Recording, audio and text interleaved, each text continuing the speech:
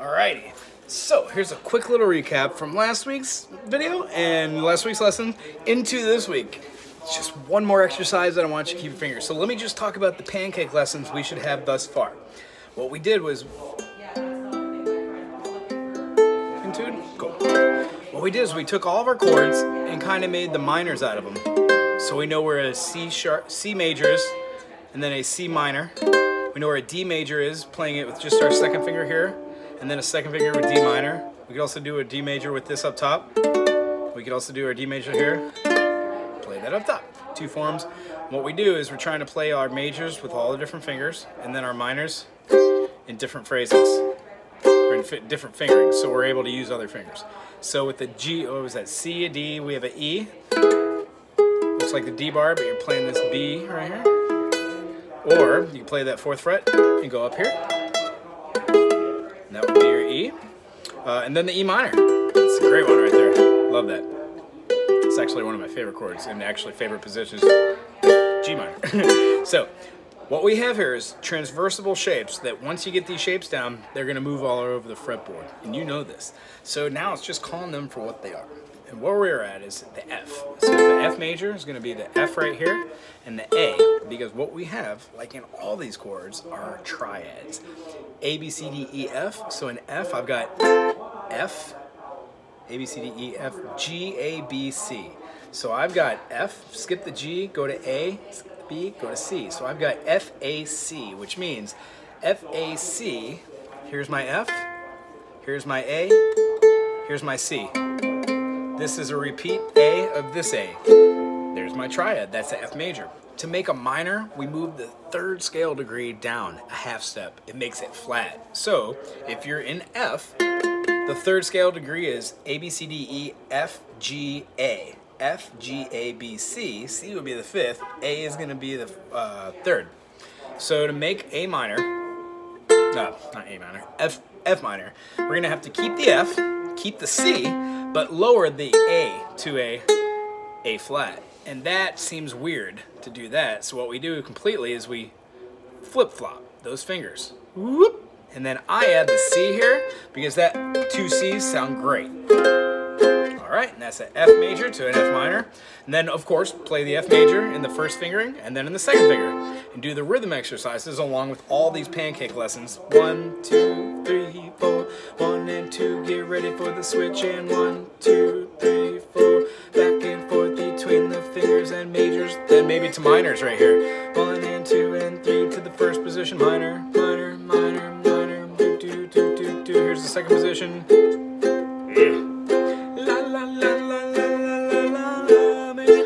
With all those, you could use a little bit of rhythm on the right hand and a little bit of moving the uh, half steps to make majors minors. Where were we're at F, let's go to G. G major, we've got a D, we've got a G, and we've got a B. So we've got G major, G, A, B, C, D. So we've got G, skip uh, A, go to B. So G, B, skip D, go to C. So G, B, C is going to be our triad. Here's my G, here's my B, and here's my D. Not GBC, GBD. Have those flips. If I wanted to make a minor, G, A, B. That's my third. So I'm to have to take that B and make it a B flat. Same thing with the F major, where we, uh, F major to F minor, we actually had to make a movement like that. This F was being played, but I was moving my fingers. So in the G, your G is anchored rock solid. You're to have a D in there as well because G, A, B, C, D, D is your fifth of G. If you wanted to make that B a B flat to make a minor, you got to move these fingers, just like you did with the F. It actually resembles an F, except it's not on the same chords. You're not actually playing the F and the A. You're playing a B flat and a D. Anywho, there's your G to G minor, and of course, play that in the first fingering, first fingering, second fingering, second fingering. What this does is it makes really good muscle memory and gets you really quick at doing fast movements like uh, which is basically a scale modal coming out of the G going down to C. Anywho, when you get through the G, you go to the A major. A, B, C, D, E. A, C sharp, and E is how you play a major. And when you make that C sharp a C, you go from a which makes your minor. So A major, A minor, with the C sharp, without the C sharp. You could also play then the second finger position. And then, lo and behold, you can do the third, which I don't use an awful lot, but does help with good stretches like that. They're kind of weird and funky. Anywho, when we go to our B major, the A in second position, scoot up a whole step, so A, B flat, B, and then bar your whole second fret makes that B major. When you remove the third, ah, one, two, three, one, two, three, and you flatten that third, it becomes a B minor. So going through all these, we would have a C major, C minor, D major, D minor, E major, E minor, F major, F minor. It's my favorite chord there. Uh, we're at G major, G minor. We're gonna have a A major, A minor. Then we're going to go to a B major, B minor, and then up to back again to the C major. Here's where it gets a little bit interesting. In a major, we've got do, re, mi, fa, sol, la, ti, do. Each one of those notes are just a note. When you add notes to them and make harmonies like do, re, mi, fa, sol, la, ti, do. All of those seven chords, C, D, E, F, G, A, B, and C, are made up of three notes. Triads. Each one of those in order when starting in C moves up in a major, minor, minor, major, major, minor, diminished. Lending tone falls back onto its roots. What we will be discussing in the next couple weeks is how to correlate somewhere over the rainbow, skies are blue with melodies derived out of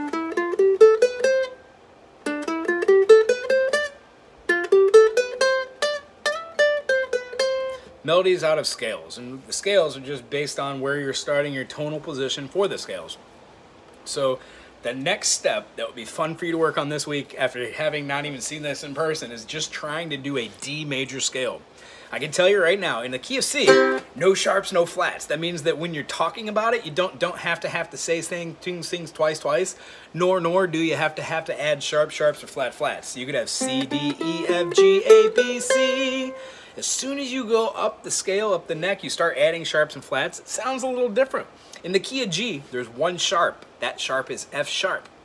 It is the seventh tone of G. G, A, B, C, D, E, F sharp, G.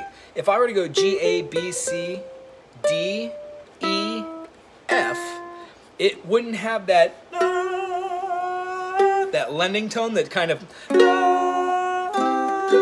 falls off onto the note you're looking for, which is why we were explaining in the first practice that this G7 that you would think to be a five chord, one, two, three, four, five, is actually the seventh chord because the F, the D, and the B in a C major chord looks like a diminished.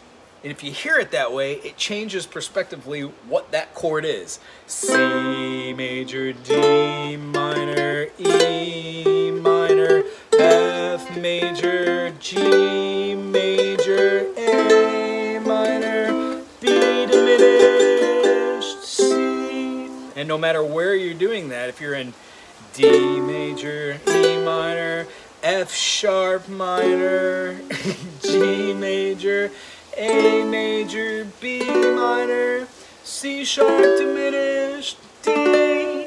No matter where you put that in, as long as you know the sharps and flats for that key signature, you're gonna have no no have no that's improper English. You're not going to have any any problem problem saying saying these notes. So here's all we see. You could do either the D major, E minor, F sharp minor, G major, A major, B minor, C sharp minor, and then resolve to D, or just do a good old fashioned D note, E note, F sharp, G, A, B, C sharp, D. And when doing that, if you hear the whole step, whole step, half step, whole step, whole step, whole step, half step, you can do that anywhere. And that is an Ionian mode, or a major scale. That should be enough information that I didn't rot your brain, but if you want one more little fun thing, you could change any chord you have into a major chord that's not just major or minor sounding, with the third being the distinguishing between la, la, the kind of like movement, you could actually have notes which have a seventh in it, a diminished seventh, or a dominant seventh. So a C major, to get the C major seven, you flatten the tonal step, the tonic, one note. That note's going to be a half note. So you're in C, you're going to go over to a B. So a C major, here's a C major 7. In a G major, the G is going to go down a half step to the F sharp, giving you G major, G major 7. If you're in D, this is your D note. If you want to go down a half step, the D goes to a C sharp. So you would have this D, uh, D major 7 looks an awful lot like that B diminished or that G7. It's just over on different chords. Correlation between what your fingers are doing and these different rhythm patterns and different phrasings for where your fingers fall on the fretboard, it actually is just much easier just to do your finger spider exercises like one, two, three, four, one, two, three, four, one, two, three. Stop on any note and see what chords you can build out of where that finger uh, fell. Like if I were to be doing one, two, three, four, one, I could lay my finger down on the A, the second finger, and make a C sharp and an A, which is my A major.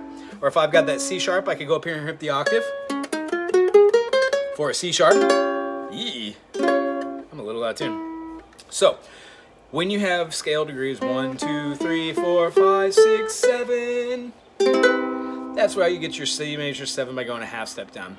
If you wanted to make a sus chord, like a, uh, let's say a G sus, you would sus the 2 or the 4, meaning in C, A, B, C, D, you would play a D over the top of the C. So that's a C sus 2. If you wanted to play a G sus 2, you'd have, oh, sorry. There it is. I like this chord. Because you would have to include that A. A, B, C, D, E, F, G, a. So the second note of G is A. Add it. G sus 2. If you want a G sus 4, 1, 2, 3, 4. The fourth note in a G major scale, as you know now, do, do, do, do, 1, 2, 3, 4. It's going to be a C. So you got to play a G and add that C. So that's a pretty good amount of information. We could review any of this, all of it, or none of it next time you come back there. And we'll get to strumming and start writing songs ourselves. All right. Uh, I'll see you next week. Sorry about the long... Uh, long video there and tell your mom happy birthday. Shoots.